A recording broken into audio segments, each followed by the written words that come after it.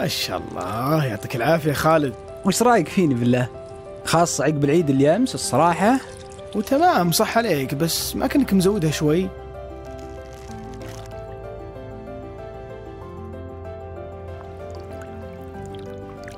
وكيف الحين؟ والحين خلاص رحنا نشوف ملابسك يلا.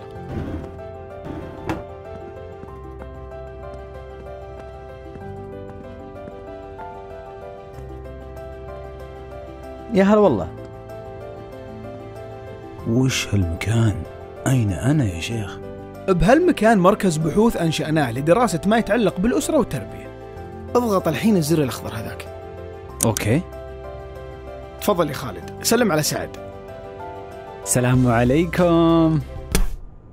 يا شباب شباب عادي عادي. it's okay it's okay أنا عيال أختي دائما يردون علي زي كذا. أنا ما عندي أي مشكلة. أنا متعود.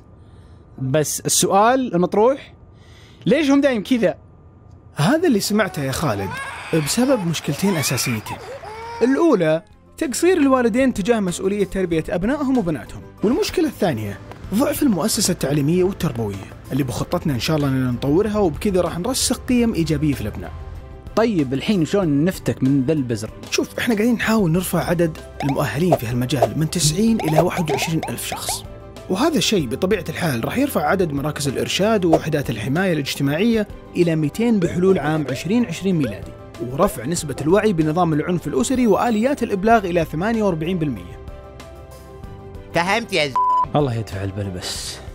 خالد شوف الأسرة هي أساس المجتمع يعني لو تأثرت الأثر راح يوصل للمجتمع كله. تقريبا زي أحجار الضومنة إذا حصل واحد منهم وطاح سقط كل الأحجار اي فهمتك فهمتك. عسى ماشر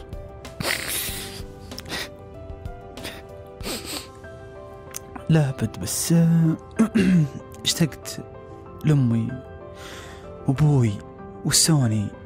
لا لا روق روق. يدرون إنك هنا وعارفين. لا وقالوا بعد خلوه عندكم.